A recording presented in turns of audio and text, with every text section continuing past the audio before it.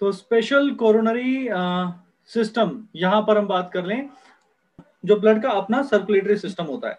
Special coronary system यानी कि heart का अपना circulatory system regulation of cardiac activity की बात करें अभी अभी हमने पढ़ा है hepatic portal system double circulation hepatic portal system और कोरोनरी सिस्टम कोरोनरी सिस्टम यानी कि जो ब्लड की आर्टरीज जो हार्ट की आर्टरीज हैं ब्लड की आर्टरी जो हार्ट की अपनी आर्टरीज हैं, वो हार्ट के मस्कुलेचर को, यानी हार्ट के मायोकार्डियम को स्पेशली वैसे तो हार्ट में जितने भी टिश्यू हैं पेरिकार्डियम की बात कर लें हार्ट के जो बाहर है एपिकार्डियम मायोकार्डियम एंडोकार्डियम सबको ब्लड की सप्लाई चाहिए, मिलती भी है, लेकिन थिकेस्ट होता है मायोकार्डियम तो हम बात करते हैं मायोकार्डियम की।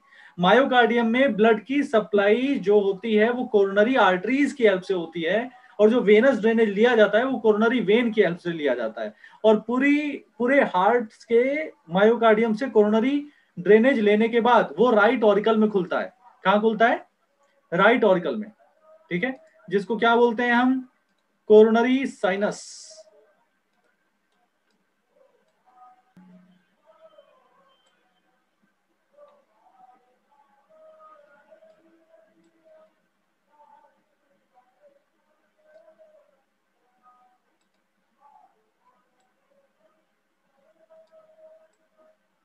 इस टाइप से ओपन होता है। तो यहाँ पर ये जो साइनस है, इस साइनस को ही हम कहते हैं coronary sinus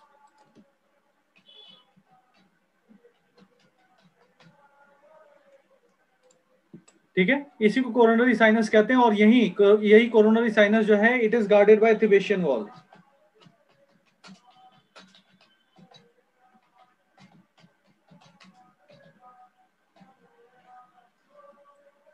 guarded by Thebesian wall ठीक है?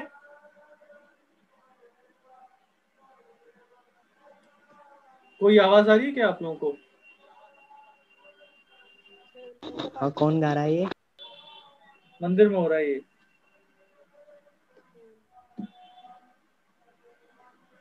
पास में मंदिर है वहाँ पर पूजा भजन आरती वगैरह हो रही है।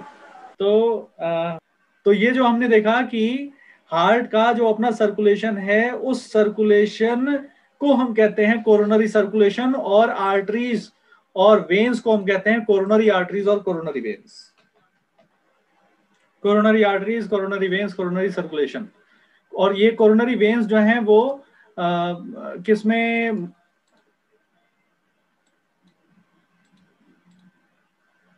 कोरोनरी वेन्स सारी कंक्लूड होती है किसमें? कोरोनरी साइनस में। और coronary sinus is guarded by what थिवेशन wall is this clear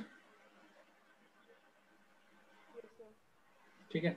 Okay regulation of cardiac activity की बिल्कुल बिल्कुल सिंपल दो लाइनें हैं। एड्रेनलिन हाई करता है एसिटाइल कोलाइन लो करता है। रेगुलेशन ऑफ़ कार्डियक एक्टिविटी की अगर हम बात करें तो normal activity of heart are regulated intrinsically intrinsically यानी कि उसके पास अपना नर्वस सिस्टम है उसका। ठीक है? अपना नर्वस सिस्टम क्या है? एक्चुअली वो नर्वस सिस्टम नहीं, वो मॉडिफाइड कार्डियक मसल फाइबर्स ही हैं। स्पेशलाइज मसल्स ये बड़ा इंपॉर्टेंट क्वेश्चन है भाई कि जो ऑटो रिदमिसिटी है वो कौन से न्यूरॉन्स कवर वो करते हैं रेगुलेट करते हैं? तो इसका आंसर होगा कोई न्यूरॉन उसको रेगुलेट नहीं करता। उसको मसल रेगुलेट करती है। एक अपने आप में पूरी बॉडी में एकमात्र पाया जाने वाला it is it is uniquely found in our heart ठीक है? जहाँ पर the signals are emerging not from a neuron but from directly from a muscle specialized muscle uh, we can say specialized cardiac muscle cardiac muscle is uh, the one of the three types of uh, muscle tissue और उस cardiac muscle में भी specialised muscles uh, होती हैं जिसको हम कहते हैं nodal tissue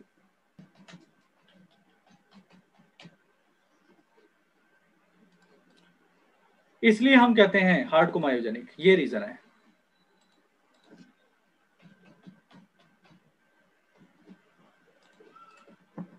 special neural centre in the medulla oblongata हमने कहा था मेडुला ऑब्लोंगिटा में तीन सेंटर्स होते हैं।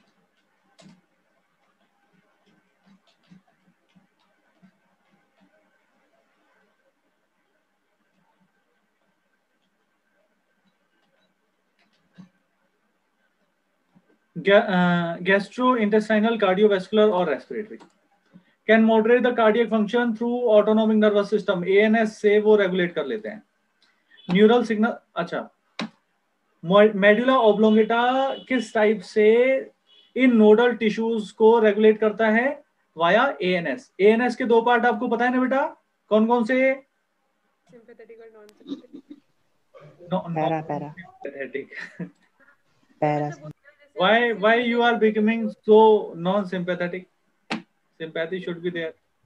सिंपैथेटिक एंड पैरा सिंपैथेटिक तो हमारी बॉडी को ही, हमारी बॉडी से सिंपैथी हो जाती है कब? जब ज़रूरत होती है। ज़रूरत कब है? एंजाइटी में फियर में स्ट्रेस में फियर फाइट फ़्लाइट रिस्पॉन्स में। तो सिंपैथेटिक नर्वस सिस्टम तब एक्टिवेट होगा और क्या करेगा? Increase the rate of heartbeat strength of muscular contraction thereby cardiac output अगर हम ये कहें कि सिंपैथेटिक नर्वस सिस्टम कैसे अफेक्ट करता है so these are the factors these are the points these are the targets to which sympathetic nervous system actually influences on the other hand parasympathetic जो है वो हमने पढ़ाई की है एंटागोनिस्टिक होते हैं दोनों तो ये क्या करेगा डिक्रीज करेगा ठीक है इसके अलावा adrenal medullary hormones can also increase the cardiac output कौन से होते हैं कौन से होते हैं वो एपिनेफ्रिक और नॉन एपिनेफ्रिक नॉन नहीं होता भाई नॉर होता है। नॉर सूप norepinephrine and norepinephrine disorders की बात करें हाई बीपी हाइपरटेंशन नॉर्मल क्या होता है? 120 बाय 80 ठीक है? 120 को हम कहते हैं सिस्टोलिक प्रेशर है 80 को कहते हैं डायस्टोलिक प्रेशर है। अगर ये 140 फोर्टी बाय 90 चला जाए तो हम उसको क्या बोलते हैं? 140 ओवर 90 तो इसको हम कहते हैं हाइपरटेंशन अगर ये कंसिस्टेंट रहे, ठीक है? जब हम स्ट्रेस में है, तब भी नहीं है तो भी सिचुएशन अपने सामने वो वाली है तो भी नहीं है तो भी खाते हैं तो भी आराम कर रहे हैं तो भी कंसिस्टेंटली जब भी मेजर करें तो 140 ओवर 90 आ रहा है तो प्रॉब्लम है हाइपरटेंशन इसको कहते हैं। High blood pressure leads to heart disease also affect vital organ like brain and kidneys sir ये ब्रेन और किडनीज को कैसे खराब कर देता है? क्या बात है गजब क्वेश्चन है। अजब स्टूडेंट्स के गजब question vital organ like brain and kidneys को कैसे अफेक्ट कर देता है? हाई ब्लड प्रेशर ठीक है तो इसमें हमें क्या बात मैं यहाँ पर लिख देता हूँ कि कैपिलरीज की बात करें सबसे पहली बात कैपिलरीज की मैं समझ गया उनकी कैपिलरीज को तोड़ देगा। तोड़ तोड़ देगा नहीं? हाँ मतलब कि तो वहाँ पे प्रॉपरली कहें तो कैपिलरीज एक्चुअली ज़्यादा डिफ्यूज्ड होती हैं। कैपिलरीज जो हैं they they are more permeable permeable in kidneys पहली बात। दूसरा ब्रेन की अगर बात करें तो brain is closer closer vital organ to heart it is it is the vital organ which is closer to heart okay and one thing one one organ i want to add along with the brain and kidney that is what eye okay so eyes के लिए brain के लिए और kidneys के लिए ये ठीक नहीं है क्या ठीक नहीं है जो हाई बीपी है क्यों क्योंकि किडनीज की बात करें तो वो ऑलरेडी परमिएबल है ठीक है? ऑलरेडी परमिएबल है, यानी कि उसमें जो फिनिस्ट्रे होते हैं। Do you know about fenestrae fenestrae बेटा ये होते हैं कि जैसे कैपिलरीज हैं कैपिलरीज की स्क्वैमस है स्क्वैमस सेल्स के बीच बीच में यहाँ पर ना ये जो गैप्स हैं, इनको फिनिस्ट्रे कहते हैं। ठीक है? और इन फिनिस्ट्रे के तो क्या होता है? वहाँ पर अल्ट्रा फिल्ट्रेशन पॉसिबल हो पाता है। ठीक है? फ़िल्टर हो पाता है ब्लड उसको फिनिस्ट्रे कहते हैं। तो फिनिस्ट्रे पूरी बॉडी में इतने ज़्यादा कहीं नहीं पाए जाते जितने किडनी में पाए जाते हैं। यानी कि ऑलरेडी स्क्वामस एपिथेलियम के बीच में गैप है। अब उस पर अगर हाई बीपी आएगा तो ऑब्वियसली उनके लिए डैमेजिंग हो जाएगा वो। ठीक है? उनके लिए डैमेजिंग हो जाएगा। तो किडनीज हार्ट से दूर होते हुए भी फिनिस्ट्रे ज़्यादा होने की वजह से बैडली अफेक्ट हो सकते हैं, अगर हाई बीपी हुआ तो। और ब्रेन और आईज पास में है, वहाँ तो प्रेशर जो है ज़्यादा जाएगा ही जाएगा और इस वजह से वहाँ पर प्रॉब्लम हो सकती है क्योंकि वो जो वाइटल ऑर्गन है, उनको ब्लड की भी सप्लाई उतनी ही चाहिए जितने उनकी वाइटल वाइटल ऑर्गन क्यों कहला कहला रहे हैं? क्योंकि उनकी फिजियोलॉजिकल वैल्यू बहुत ज़्यादा इंपॉर्टेंट है। ठीक है? हमारे ओवरऑल बॉडी फ़ंक्शन के लिए उनकी जो एक्टिविटी है वो बहुत इंपॉर्टेंट है, इसीलिए तो वाइटल ऑर्गन है। ठीक है? और इसीलिए वहाँ पर ब्लड सप्लाई ज़्यादा चाहिए। ठीक है? ज़्यादा ब्लड सप्लाई चाहिए, लेकिन समस्या क्या है? हाई बीपी तो वहाँ पर कैपिलरीज में इतना प्रेशर एक्सर्ट हो जाएगा कि कैपिलरी कैन बर्स्ट ठीक है? और कैपिलरी अगर बर्स्ट होगी तो क्या चीज़ होगी? हेमरेज हेमरेज बोलते हैं जिसको। हीमोरेजिया रेजिया मतलब कि लीक आउट हो जाना, और हीमो मतलब कि ब्लड तो हेमरेज हो सकता है वहाँ पर। हीमोरेज बोल सकते हैं, या जनरल प्रोनाउंसिएशन में हेमरेज बोल देते हैं। ठीक है? या स्ट्रोक बोलते हैं। जहाँ पर हेमरेज हुआ है, उससे आगे ब्लड प्रॉपरली नहीं जा पाएगा, वहीं पर फैल जाएगा।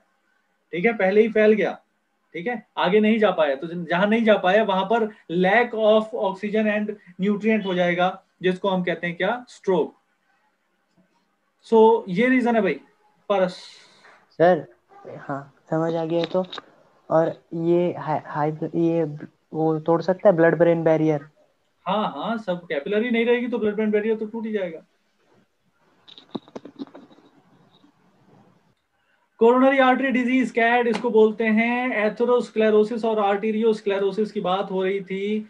एथेरोस्क्लेरोसिस और आर्टीरियोस्क्लेरोसिस में केवल एक डिफरेंस है। यहाँ पर deposition of calcium fat cholesterol and fibrous tissue बोला हुआ है। आर्टीरियोस्क्लेरोसिस में हार्डनिंग हो जाती है। कैल्शियम ज़्यादा डिपोजिट होने की वजह से।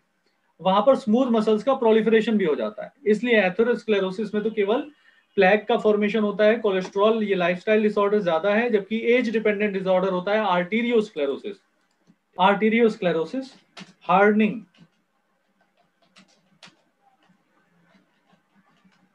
of arteries. Due to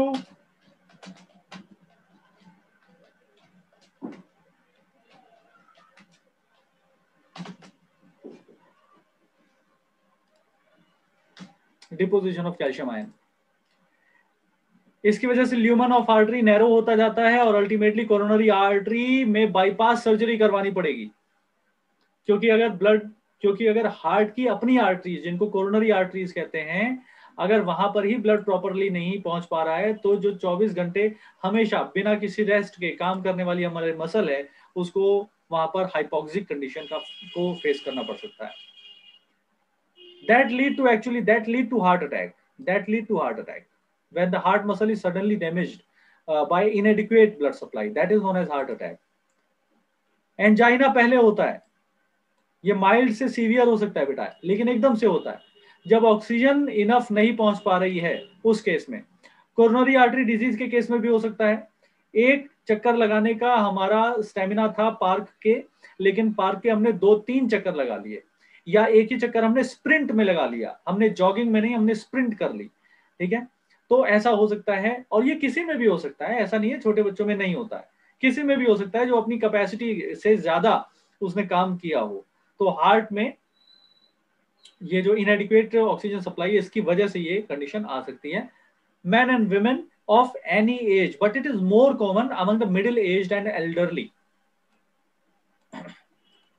it अगर due to condition that affect the blood flow कहते हैं कि फिर वो जैसे धीरे धीरे करके जैसे रोज भागते हैं जैसे रोज भागते हैं धीरे धीरे वो बढ़ती है किसी की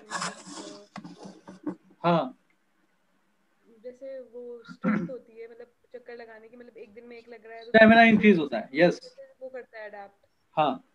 उसमें हार्ट अडैप्ट कैसे करता है पेक्टोरिस वगैरह? उसमें? हार्ट अडैप्ट कैसे करता है? जैसे किसी ने आज दो चक्कर लगाए वो सात आठ दिन दो चक्कर लगा रहा है मतलब वो अगले दिन से मतलब आठ चक्कर मतलब ज़्यादा चक्कर बढ़ सकते हैं ना उसकी कैपेसिटी बढ़ सकती है। जैसे होता ही है एथलीट्स के साथ ज़ीरो से शुरू कर करके उनकी कैपेसिटी एक्सीड होती रहती है। तो उसमें हार्ट कैसे अडेप्ट करता है? हार्ट के अडेप्ट करने के डिफरेंट वेज हैं बेटा। पहला तो ये है कि उसकी पंपिंग कैपेसिटी बढ़ती है। ठीक है? जितनी स्ट्रेंथ से वो वेंट्रिकुलर कॉन्ट्रेक्शन कर सकता है वो इंक्रीज होता है। पहली बात। दूसरी बात उसके आसपास जो एडिपोज टिश्यू है वो कम होगा। ठीक है? क्योंकि बॉडी का ओवरऑल फैट परसेंटेज डाउन जाएगा ना। ठीक है? तो कोई चीज़ है जिसको आप प्रोटेक्ट करना चाहते हैं, लेकिन प्रोटेक्शन के लिए आपने चारों तरफ़ उसके इतना इतना इतनी कवच इतना ज़्यादा आपने स्ट्रॉन्ग कर दिया कि अब बॉडी मूव ही नहीं कर पा रही है। तो ऐसे कवच का क्या करना? ठीक है? तो अगर ज़्यादा मूव करना है तो आपको कवच जो है वो थोड़ा सा नॉर्मलाइज करना पड़ेगा। ठीक है? जो प्रोटेक्शन के लिए कुशन के लिए आपने जो एडिपोज टिश्यू हमारे बॉडी में जो एडिपोज टिश्यू उसके चारों तरफ़ होता है, वो एडिपोज कवरिंग भी कम होती है, जिसको हम कहते हैं इंटरनल फैट। कई बार हम देखते हैं कि सिंगल बॉडी पर्सन है, लेकिन उसको भी हार्ट अटैक आ गया, या सिंगल बॉडी पर्सन है, लेकिन वो भी बहुत ज़्यादा देर तक, दूर तक नहीं भाग पा रहा है। उसका रीजन क्या होता है? Internal fat. ठीक है? तो हम सबका एक्सटर्नल और इंटरनल फैट का रेशियो अलग अलग है। किसी को केवल एक्सटर्नल फैट ज़्यादा होता है, किसी को केवल इंटरनल फैट ज़्यादा होता है, किसी को दोनों ज़्यादा होते हैं। ठीक है? तो इंटरनल फैट भी कम होता है जिसकी हेल्प से जिसकी वजह से हार्ट एक्चुअली नॉर्मली जितना उसको बीट करना चाहिए वो कर पाएगा। ठीक है? क्या मेरी बात समझ में आ रही है? ठीक है ना? उसके चारों तरफ़ प्रोटेक्शन अगर ज़्यादा होगा बेटा तो वो खुल के जो है हार्ट पंप नहीं कर पाएगा। ठीक है? तो एडिपोज टिश्यू भी धीरे धीरे डाउन जाता है। ये भी एक है। तो अडेप्टिविटी हार्ट और लंग दोनों की होती है जिसकी हेल्प से हम वो काम कर पाते हैं और ऑब्वियसली हमारे लेग मसल्स की बॉडी मसल्स की तो होती ही होती है। सर मतलब जब एक्सरसाइज करते हैं तो ऐसा सारी वेन्स वेन्स बाहर आ जाती है नसें वसे यहाँ चेस्ट की पूरी बाहर आ जाती तो वो क्यों आती है? नहीं वो तो ब्लड फ्लो की वजह से है। वो ब्लड फ्लो की वजह से इतना ज़्यादा हो जाता है। फैट अगर नहीं रहेगा तो आपकी भी वेन्स दिखने लगे। अगर आप एक्सरसाइज करें और फैट ना रहे बस यही दो चीज़ें हैं बेटा। है ना? बॉडी का फैट परसेंटेज जो सबक्यूटेनियस फैट है वो कम हो जाए तो और और आपका ब्लड प्रेशर बढ़ा रहे। ठीक है? तो जो वेन्स है वो क्लियरली दिखाई देती रहती हैं फिर। अब क्योंकि उनका सुबह का तो नहीं नहीं। वर्कआउट होता है। हाँ। हाँ नहीं आप बताओ बताओ। सुबह का शाम का दो दो घंटे का वर्कआउट रहता है तो उनकी जो मसल्स हैं वो भी टेंस रहती हैं। ठीक है? और जो उनका जो ब्लड फ्लो है वो नॉर्मल किसी इंडिविजुअल से ज़्यादा रहता है। और प्लस उनके पास मसल्स ज़्यादा होती है मसल मास ज़्यादा होता है तो ज़ाहिर सी बात है उनके पास वेन्स ज़्यादा होंगी। ऐसा कुछ नहीं है कि सबके पास कॉन्स्टेंट लेंथ ऑफ़ अच्छा ये, ये भी होता है मतलब अगर हम एक्सरसाइज कर रहे तो हमारे में वेन्स ज़्यादा है नॉर्मल से। वेन्स हो या आर्टरीज हो कैपिलरी आर्टरी नहीं मतलब कैपिलरीज की बात कर रहे हैं हम कैपिलरी ज़्यादा होती है। क्योंकि नई नई ब्लड कैपिलरीज बनती जाती हैं जब भी कोई ऑर्गन या टिश्यू ग्रो करता है। इसको हम कैंसर से रिलेट करके भी समझ सकते हैं कि कैंसर में एंजियोजेनेटिक फैक्टर रिलीज़ होते हैं। जब कहीं पर भी प्रोलिफरेशन होता है जेनेटिक फैक्टर रिलीज़ होंगे जो जो दूर में जो ब्लड सप्लाई जा रही है, उसको अट्रैक्ट करते हैं कि वो यहाँ पर भी कैपिलरी नेटवर्क करते हुए जाए। और इसी वजह से तो यहाँ से जो टिश्यू टूटेगा या सेल फ्रेगमेंट टूटेगा, वो वहाँ पर जाके मेटास्टेसिस कर देगा। एक चीज़ मतलब कि जब जैसे पंप होता है ना एक पंप पंप चला जाता है थोड़ी देर बाद तो वो क्यों? मतलब करी तो थोड़ा देर तक रहता है फिर वो अपना नॉर्मल आ जाता है। अच्छा बॉडी वो वो कह रहे हो मसल पंप कह रहे हो? हाँ। हाँ तो उसमें तो वही है कि जैसे आप जो मसल्स हैं मसल्स के अंदर ब्लड फ्लो बढ़ेगा gastrointestinal flow of blood है वो रिड्यूस होगा और मस्कुलर स्केलेटल डायरेक्शन में उसको गाइड किया जाएगा। ठीक? वर्कआउट हो रहा है हैवी ठीक है? तो कैपिलरीज वगैरह होंगी। तो कैपिलरीज से एक्सचेंज होगा मटेरियल का ज़्यादा ठीक है?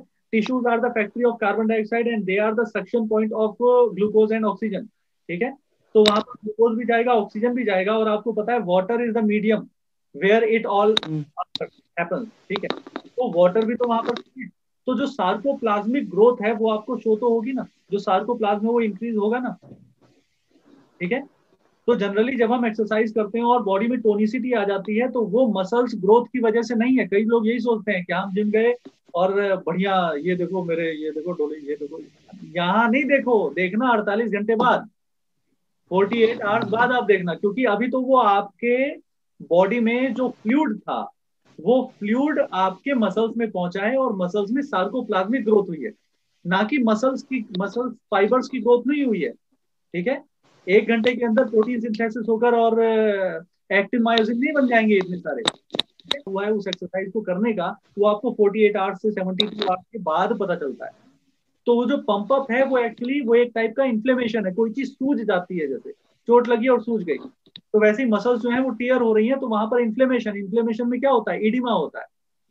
इडिमा होता है? अब बस बात यह है कि वो कोई नॉर्मल टिश्यू में इडिमा नहीं हुआ है, वो मसल्स में इडिमा हुआ है। तो मसल्स जो है वो टाइट हो गई हैं, क्योंकि वहाँ पर जो प्रोटीन्स है वो ब्रेक हुए हैं। तो इसलिए वो टाइट हो गई है। उसके अंदर आपने पानी भर दिया। पानी भर दिया, यानी कि फ़ूड है वहाँ पर। तो वो टेम्पररी एक पंप आ गया।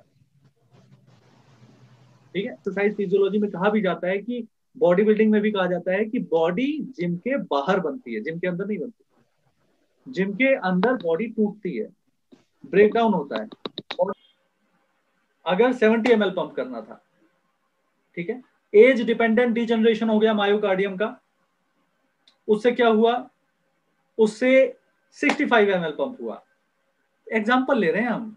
एग्ज़ाम्पल ले रहे हैं, ठीक है? एग्ज़ाम्पल की तरह समझना। ऐसा कोई मेजर नहीं किया हुआ मैंने। एग्ज़ाम्पल की तरह हम समझ रहे हैं। सेवेंटी एम पंप किया तो ठीक है। अगर 65 किया तो पाँच रह गया। अब कितना पंप करना है? 75 लेकिन कितना पंप किया? 65 दस रह गया। अब कितना पंप करना है? 80 लेकिन कितना पंप किया? 65 15 रह गया। इस टाइप से करते करते कार्डियोमेगैली हो जाती है। यानी कि वेंट्रिकल्स का साइज़ बढ़ जाता है। उसके पास ब्लड ज़्यादा आ रहा है ब्लड ज़्यादा नहीं आ रहा ब्लड तो उतना ही आ रहा है लेकिन जो, उसकी कैपेसिटी थी उतना वो पंप नहीं कर पा रहा तो उसकी एम्पटिंग ही नहीं हो पा रही ठीक से। ठीक से एम्पटिंग नहीं हो पा रही है तो धीरे धीरे लोड बढ़ेगा। आपने आज का होमवर्क नहीं किया कल नया पढ़ाया गया। आज का आपने किया नहीं कल का भी करना है। थोड़ा सा हो पाया फिर भी पेंडिंग रह गया। तीसरे दिन और हो गया चौथे दिन और हो गया। हार्ट फेलियर में यही होता है। ठीक है? वहाँ पर होमवर्क नहीं बढ़ता, वहाँ पर कार्डियक लोड बढ़ता जाता है, जबकि कार्डियक आउटपुट जो है वहाँ पर डिक्रीज रहता है, ठीक है? तो उस कंडीशन को हम कहते हैं हार्ट फेलियर जिसमें प्रोग्रेसिव डिजेनरेशन की वजह से age dependent degeneration of myocardium की वजह से, यहाँ पर जो कैपेसिटी है मायोकार्डियम की, वो रिड्यूस हो रखी होती है। ठीक है? So heart is not capable to pump enough blood इसकी वजह से प्रोग्रेसिव एक्मुलेशन होगा। और इसको हम कंजेस्टिव हार्ट फेलियर भी बोलते हैं। कंजेस्टिव लंग्स होते हैं यहाँ पे। कंजेस्टिव हार्ट फेलियर तो इसको हम बोल दी uh, हमने बोल दिया। कंजेस्टिव हार्ट फेलियर ये देखो लिखा है। It is sometime called as congestive heart failure because of congestion of lungs not heart यहाँ पर बिकॉज़ करके हार्ट की सिचुएशन को प्राइमरी नहीं बोला गया। मैं यहाँ पर बिल्कुल ये बात क्लियर कर दूँ। कंजेस्टिव हार्ट फेलियर जो है कंजेशन हार्ट में तो हो ही रहा है। लेकिन लंग्स में भी हो रहा है। लंग्स में कैसे हो रहा है? आप अगर पूरे फोर्स से ब्लड नहीं पंप करोगे तो बेशक लंग्स पास में ही है, लेकिन लंग्स के पास जो ब्लड जाएगा, वो वेन्स के थ्रू वापस इतनी जल्दी नहीं आ पाएगा। तो वहाँ पर भी एकुमुलेट होगा। एकुमुलेट होगा तो रेस्पिरेशन में भी प्रॉब्लम आएगी ब्रीदिंग में भी प्रॉब्लम आएगी। तो हार्ट में तो कंजेशन है ही लंग्स में भी कंजेशन है, क्योंकि improper insufficient ventricular strength है। जो स्ट्रेंथ ऑफ़ वेंट्रिकुलर कॉन्ट्रेक्शन है, वो भी थोड़ी सी इनसफिशियंट है इज़ दिस क्लियर नाउ जब हार्ट स्टॉप कर देता है बीट करना। ठीक है, कब? जब ऐसे नोड से इंपल्स नहीं मिल रही ए बी नोड से नहीं मिल रही। कुछ तो कुछ ऐसा हुआ जिससे कि हार्ट बीट नहीं कर पा रहा है, उसी को हम कहते हैं कार्डियक अरेस्ट ठीक है? यस अब पूछो। सर, थोड़ा ना अजीब सा है। कि ना मतलब हमने हमारे में क्लोज्ड है सर्कुलेशन और क्लोज में मतलब वेन्स और आर्टरीज और कैपिलरीज में होना चाहिए बस। तो हम या तो इसका आंसर मैं बता देता हूँ। इसका आंसर शायद ये है कि बहुत सारी है कैपिलरीज वगैरह इसलिए। क्वेश्चन तो ऐसा क्यों होता है कि मतलब कि अगर काटा तो वहाँ से भी खून आ गया? ऐसा क्यों होता है? वेन का खून निकालना होता है क्लोज होता तो आर्टरी काटते वहीं से आना चाहिए था। ओहो। हाँ तो तुमने इसका जो जवाब दिया, वही है इसका आंसर एक्चुअली कि कैपिलरीज हमारे पास डिफ्यूज बहुत बहुत माइन्यूट हैं। आर्टरीज हमें दिखती हैं वेन्स हमें दिखती हैं। आर्टीरियोल हमें डाइसेक्शन से, ध्यान से देखने पर दिख जाएँगी वेन्यूज दिख जाएँगी। लेकिन कैपिलरीज बहुत बहुत माइन्यूट होती हैं। आप ये लगा लीजिए भाई, कि कैपिलरीज का डायमीटर बेटा सेवन माइक्रोमीटर से कम होता है। कैपिलरीज का डायमीटर सेवन माइक्रोमीटर से कम है। अब लगा लो आप। हिसाब सब्ज़ी बनाते टाइम या कुछ ब्लेड से मतलब ब्लेड यूज़ करते टाइम हल्का सा कट लग जाता है ठीक है? लेकिन तो खून नहीं निकलता। ऐसे लगता है कि अरे कट लग गया अब यहाँ से खून निकले लेकिन निकलता नहीं है ठीक है? वो बस स्किन स्किन का एक बारीक सा पोर्शन जो है उखड़ा हुआ होता है वो।